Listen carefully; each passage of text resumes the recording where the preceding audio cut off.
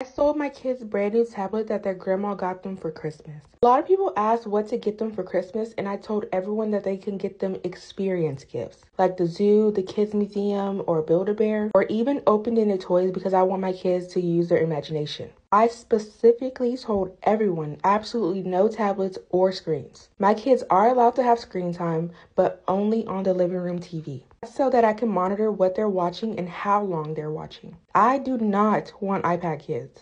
No hate to any parents that do, but I just don't want that. My grandma bought them Amazon Fire tablets, and as soon as my kids opened them, they were so excited about them. Me and my husband just looked at each other in disbelief. We asked everyone not to do that. We didn't want to cause any family fuss at Christmas, especially in front of our kids who were so excited about them. We ended up never opening the tablets and our kids eventually forgot about them. So I decided to sell them. And now my grandma's asking why she never sees them playing with the tablets. And I just told her that we asked her not to buy them, so we just sold them online and bought something for our kids that was more appropriate. Now she is livid and I don't know what else to tell her. They're already sold.